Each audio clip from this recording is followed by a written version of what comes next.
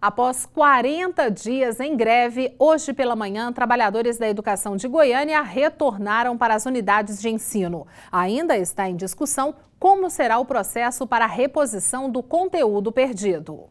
A dona de casa, Rosimeire Silva, e o filho Arthur chegaram cedo na porta da escola municipal Benedita Luiza Miranda, no setor Pedro Ludovico. Ela não via a hora do filho voltar às aulas. Criança, quando fica parada em casa, eles não querem ler, eles não querem nada, né? Porque eu falo para ele, meu filho, pega o caderno pelo menos, lê o que você já viu na escola. Não quer, pra quê, mãe? Não vai ter aula amanhã? Na última quinta-feira, os professores e servidores da rede municipal de educação decidiram pelo fim da greve.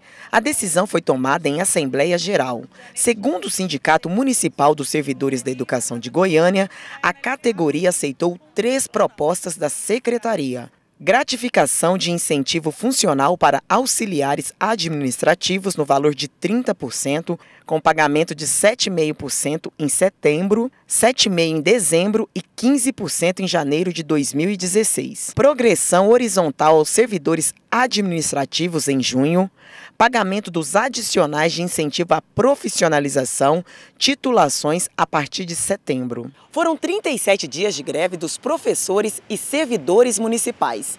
Desses 27 dias, as escolas vão ter que repor as aulas. A reposição das aulas fica a critério das escolas, mas no próximo sábado, o SINSED vai realizar uma reunião e apresentar uma proposta de calendário para cada grupo das escolas. Cada instituição vai ter sua autonomia e vai poder conversar sobre o calendário desde que esse aluno não seja prejudicado.